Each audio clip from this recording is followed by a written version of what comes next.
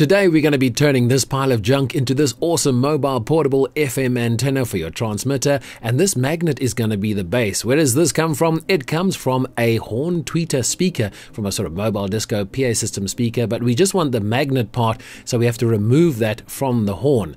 So, very carefully, without breaking the uh, neck on the magnet, because you want to keep that small neck, you just want to remove the horn part. So, very carefully, with a bit of skill and a bit of effort, remove that horn so that you keep the magnet with that little neck. Now, using a screwdriver, you want to remove all those screws because you need to get the coil inside and get that out because that's the coil that makes the sound in the tweeter, but you don't need that for this antenna. So we're going to take that out, but we do need the spacer, the plastic spacer inside. So inside you can see there is the coil. So we need to remove that very easily. Just push your finger through, just take that coil out, but keep the plastic spacer intact.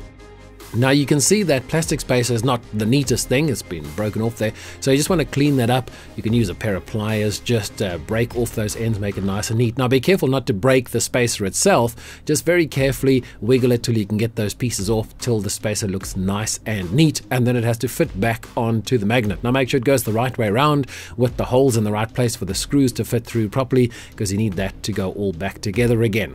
Then the neck of the base is going to go on top there.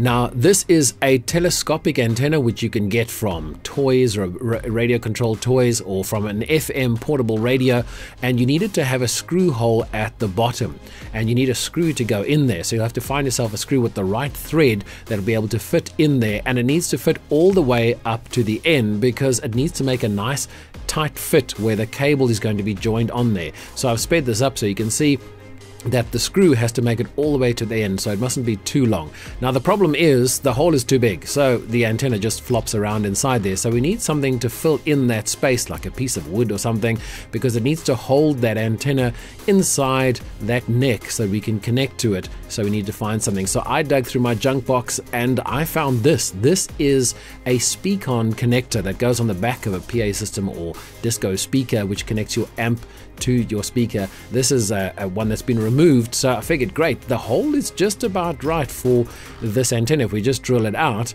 and uh, it looks like it'll fit in there. Not perfectly snugly, but it fits quite nicely into the neck. So I figured that could actually work. So all I really got to do is remove those connectors on the back there and uh, drill that hole a bit bigger so that I can fit the antenna inside. But it does look like it fits quite nicely. Now, please use your drill more safely than I did. I was doing this just so that you can see it on the camera, but please be more safe. But eventually, you'll get through that plastic with the drill uh, to get a nice clean hole, and uh, you'll have to keep doing it until you get a nice fit. Obviously, you want it to be a snug fit, you don't want it to wobble around, but eventually, you'll get a nice fit.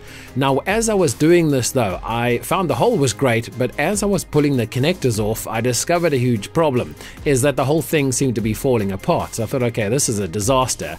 But I kept pulling on the connectors and uh, eventually, when they were all out, I discovered the plastic inside was actually pretty good. It was pretty solid, so uh, it didn't actually matter that that piece had broken off. So I managed to get the antenna in through that hole nice and tight. Now I've sped this up as well because it's a really snug fit, so it took quite a while to push that antenna all the way through. But you, that's what you want. You want to have a nice snug fit so that it's pushed all the way through and it holds tightly that just the screw sticks out the end. And you can see that fits nicely into the neck of the antenna or at least the neck of the base. Now we need to make a hole in the side where we can push the coaxial cable through because that's where it's going to join onto the antenna and then uh, as well onto the base. So you have to find the right spot, the most appropriate spot, but almost any spot will do as long as it can reach in nicely from the outside. Now I've drilled this through. I didn't film the drill, drilling, but you can see all the bits of plastic. I drilled the hole through that uh, gives you that space to push the cable through. So that's exactly what we'll do. Push the coaxial cable through the side so that it goes to the inside. And it has to be about that long because you need the braiding to be able to touch onto the magnet because that's going to be your ground plane in a way of your antenna and the center part you need to touch on the top. Now you need to pull the plastic off. Don't cut it like say, rather cut a piece off and then pull it off because you don't want to damage the cable. So just get a nice piece that you can grab onto and then just pull on it so that you can get a nice length like I showed where the braiding can touch. So I've sped this up as well. So you can see this uh, uh, gives you a piece about that long, which you're going to need to connect onto the braiding to the base. Now, once again, just roll it on the blade. Don't cut it because you don't want to damage the cable. Just get a nice finish.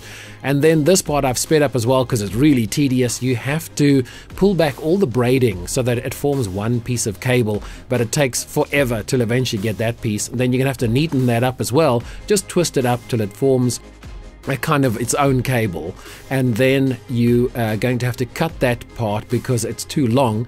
But you can see basically that's going to fit through the side and then we are going to join that part. You can see the white plastic which is the center of the coaxial cable. That's going to join onto the screw where the braid is going to join onto the magnet. So we have to cut that center part but shorter. But before we do that we have to push the cable all the way through because we're going to be working through on the other side because it's very difficult to work through the bottom. So we are going to push the cable all the way through through the hole and then cut a piece off the top so be sure to cut the right length I've just uh, cut a decent length off there and what you're going to do is you're going to remove some of the plastic so that you've got some of the center of the coaxial cable exposed. Once again, just roll it on the blade. Don't cut it because you don't want to damage the cable. Just pull the plastic off and then clean up or just twist up that uh, piece of cable so you've got it nice and clean and that's going to join onto the screw that you can see that's sticking out of the antenna now. Now you could be fancy and put an eyelet on there but seeing as we're going cheap and cheerful for this video all we're going to do is we're going to twist that wire onto that screw and then we're going to tighten the screw up.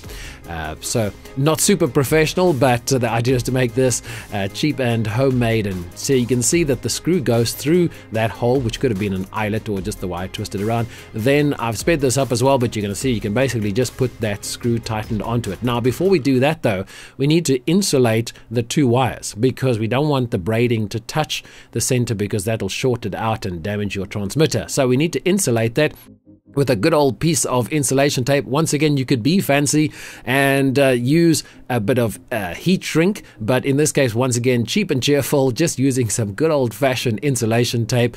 Uh, but all the all you really have to do is insulate those two wires from each other because you don't want that braiding to touch on. I've sped this up as well so you don't see me fumbling around with some insulation tape, but in the end, you end up with those two wires being separated by the insulation tape.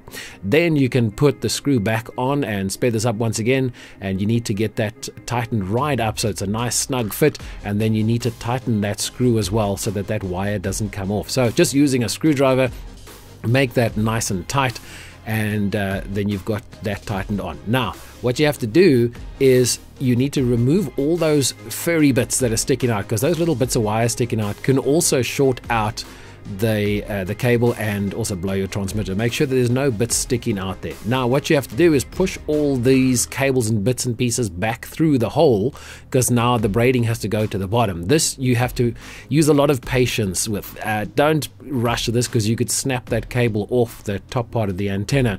So take your time, just very carefully push it through, wiggle it through it slowly because you don't want to snap that cable off. Eventually you'll get it to fit through nicely and uh, you'll have that sitting nice and comfortably there with the braiding part sticking out through the bottom and you've got the uh, top part of the, the plastic sticking through the neck nice and comfortably. Now the braiding of the cable needs to touch onto the metal of the magnet because that's going to be the base of your antenna. And to do that, basically what you're going to do is you're going to take a screw that was one of the three screws holding that neck on and that piece of braiding is going to go around that screw. So first you take the spacer, put that over because you're going to need that spacer, but make sure you put that over first before you put the cable, otherwise it's going to not connect to the base. So once you put that spacer onto the plastic neck, you're going to pull this wire over. I've sped this up as well because it is a bit tedious also just trying to get this little wire to make a, a bit of a hook on there. You can see sped up there and then you very carefully have to put that onto the magnet, uh, making sure once again that the holes are in the right place so that everything lines up and making sure that that braiding is touching onto the magnet and making sure you've got all that lined up. You're going to have to put all the screws back in, just wiggle around till you've got it in exactly the right spot. And then uh, once again, I've sped this up so that you don't have to watch me putting all the screws in, but you have to put all of that back together again, making sure that it doesn't slip out of place, that that braiding doesn't move and uh, bits fall out. Make sure that uh, everything's in place, tighten up the screws screws, and then you're uh, pretty way along in making this antenna. A couple of things we still need to do is uh, put this connector onto the end of the cable. This is a PL259 connector, assuming you have that on your transmitter, uh, but you have to make sure that this cable matches onto that connector properly. So we're going to cut the ends of that so that the bit fits through. Make sure that you use the right connector for your transmitter. If your transmitter's got a BNC connector, then connect, then put one of those connectors on. Just make sure it's the right one. But for now, doing this PL259, making sure that that cable is long enough to reach through the center of the connector. So once again, don't break the cable. Just uh, roll it on the blade so that you can pull off the plastic, and then you're going to have to push back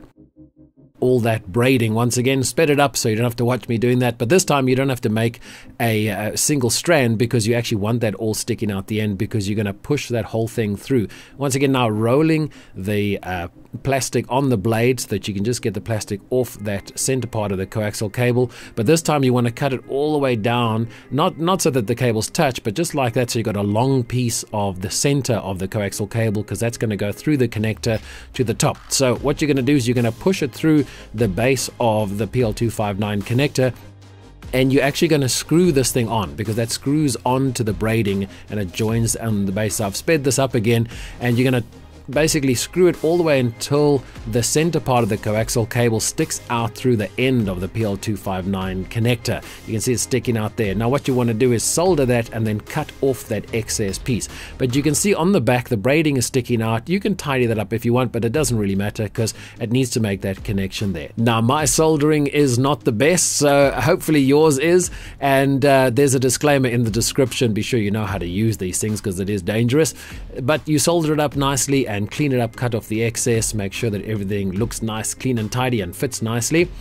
And uh, then the important thing is to test the thing because we need to make sure that there's no shorts and that the connections are good. So using a multimeter, we're just going to do a straightforward connection test to see is it making a good connection between the cable and not shorting out between the center of the cable and the braiding and or at least to the outer core of the cable. So you can see there it makes a good connection from the braiding to the base but doesn't connect to the antenna and vice versa. So you don't have a short between the center and the outer part of the coaxial cable and so that your antenna is connecting uh, the way it should, but without shorting out. So you can see the center connects to the center. Now we're going to be using a glue gun just to uh, tighten up or strengthen up that center part, which is a bit wobbly because it doesn't fit in perfectly. So once again, I sped this up just so you don't have to watch me endlessly sticking glue into the antenna. But the whole idea is to fill it up so that it's nice and solid because you don't want that to wobble around because that can also break. So make it nice and solid with some glue and then you can also tidy it up. Once again, some good old fashioned insulation tape just to make it look neat and tidy. Uh, you can stick that around the top part there just just to finish it off so you don't see all that horrible glue sticking out. So now you're almost done, but that cable needs to be strengthened. We need to stick some glue around that hole there because if that cable gets pulled on, it can snap and then you've damaged your entire antenna. So use the glue gun again, just put lots and lots of glue on there to strengthen it. You're going to stick it all over the place and uh, just make sure that that cable cannot pull out because you don't want to damage the cable by accident or damage the thing. And there you have it, your own homemade mobile portable FM broadcaster antenna, but be sure to not use this on a moving vehicle even though it's mobile. Uh, only use it on a stationary vehicle because this thing will probably blow off if you're driving along, so only use it on a stationary vehicle. But there you have an antenna. Now in an upcoming video, I'll be testing out this antenna to see how well it performs. But there you have it, fantastic homemade antenna that you can use for your FM transmitter. To find out more about how to tune the antenna, check out this video. To find out more about FM antennas, check out this video.